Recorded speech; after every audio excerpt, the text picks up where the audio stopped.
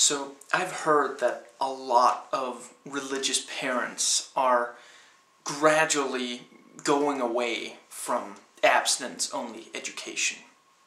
Stop that! You're ruining everything! Don't you see? If they don't know about sex, it can't hurt them. What you don't know can't hurt you.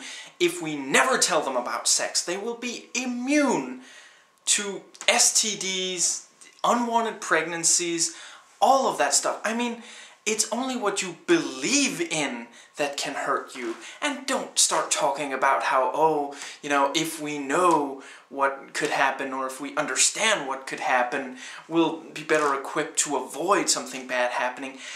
If we religious people understood half of what we argued, all those pesky facts would just get in the way. No. And children should not learn self-discipline. We should discipline them. We should make them do as we say. We don't want them thinking for themselves. That is the path to just secularism and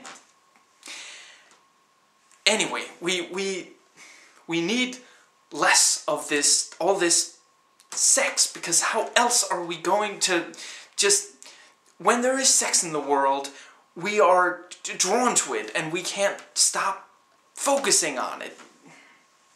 You know, it sex is filthy, nasty. Ugh, just body parts rubbing against other body parts. And just I want more of it. I mean, I I've had enough of it. And remember, think, question, research. Don't take anybody else's word for it, and that includes mine. Please rate and comment, and hey, if you like this video, that subscribe button's just waiting for you to click it.